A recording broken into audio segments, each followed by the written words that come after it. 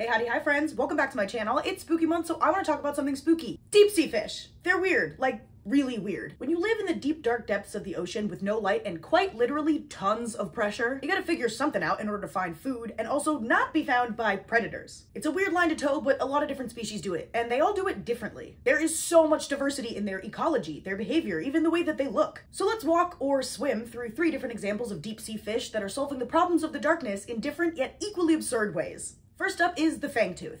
I'm sure you will be shocked to discover that this fish has fangs for teeth. Wow! While that alone may not be super interesting, it's more the size of these fangs that make this fish really weird. Like most deep sea fish, the fangtooth isn't very big, only about 6 inches long. But those teeth are huge, making them the largest teeth in proportion to body size in the entire ocean. And because of how huge those teeth are, surely they can't close their mouths properly, right? Wrong! They can, but they've got a very special adaptation to do so. They've got these pouches in their head so that their teeth don't puncture their brain when they close their mouths all the way. Evolution really made and solved a problem all in one fish. But having the biggest teeth in the sea is not their only superlative. Though they usually spend their time between 1600 and 6500 feet deep in the ocean, they have been found as deep as 16,404 feet, making them one of the deepest living fish on the planet. They're really taken deep sea to an entirely new level. I'm impressed. Next, we have the barrel eye fish.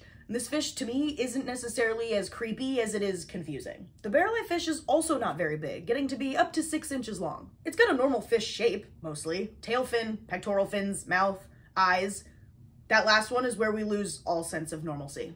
You see those big green orbs? Those are its eyes. And while I know this, I still look at the fish and think that the nares are its eyes at the front of its face, and that's simply not true. It just really throws me off, man. But let's talk about why on literal Earth the eyes look like that. Those orbs, also known as tubular eyes, totally tubular, are incredibly specialized. They're super light sensitive in order to pick up on any and every tiny little morsel of light they can find down there. They're pointed upwards to try and find silhouettes of prey items against those tiny little morsels of light. Don't worry, they can rotate them forwards as well, and that part I do find unsettling. And they're encased inside that transparent dome of a forehead, probably to protect these essential and very special eyes from anything that might damage them. Dang bro, I thought my forehead was big. Now it's super convenient that their eyes are protected because where they find their food is a place that has stinging cells. That's right, this fish eats crustaceans that are trapped inside the tentacles of siphonophores. Siphonophores are a type of gelatinous organism that live in these huge clonal colonies that also have stinging cells, kind of like sea jellies. And the barrel eye fish has a tiny mouth and huge fins to maneuver with precision in order to get food out of those dangerous tentacles.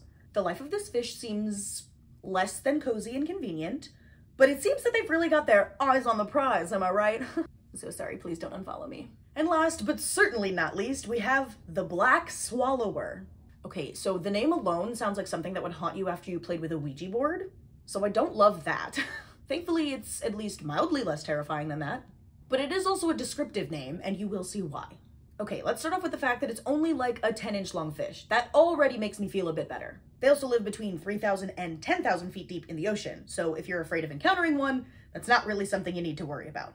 But taking a look at this fish, you will notice that it has a giant pouch on its belly, Unlike marsupials, the purpose of this pouch is not to house adorable babies as they grow. No, instead it is used to house other weird-looking deep-sea fish that have met their demise at the hands, or I guess mouth, of the black swallower. Allow me to explain. This fish opens its mouth incredibly wide and gulps down food whole. And it's not just filling its stomach with tiny little bite-sized prey. They've been known to swallow things much, much, much larger than they are. Like, up to four times its length and up to 10 times its own mass. The black swallower is the epitome of biting off more than you can chew. Okay, so maybe the fact that this fish is 10 inches long isn't really helping anymore. This fish is ruthless. And I, for one, am thrilled to not live in the deep sea. As you can see, deep sea fish are creepy, but that's what makes them so cool. Having to survive one of the harshest environments on the entire planet is definitely going to produce some weird adaptations and some scary looking animals. But think about how amazing it is to live in a time where we can learn what those adaptations are and why these fish look the way that they do. Studying fish that live thousands of feet beneath the surface of the ocean is incredibly hard to do, so it's amazing that we know as much as we do about these animals. Look, while seeing these critters makes me understand why people have thalassophobia, it kind of just makes me more excited to be a scientist. Let me know what your favorite deep sea fish is, or if one of the three that I mentioned is your new favorite deep sea fish. Thank you for learning with me today, and I can't wait to learn with you more later. And as always, have a great day, and stay sharky, my friends.